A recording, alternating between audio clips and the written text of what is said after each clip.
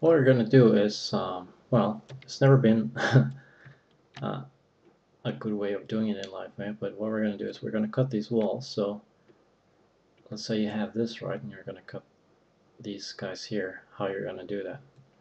What you need to do is make these selections a new surface and expand the selection.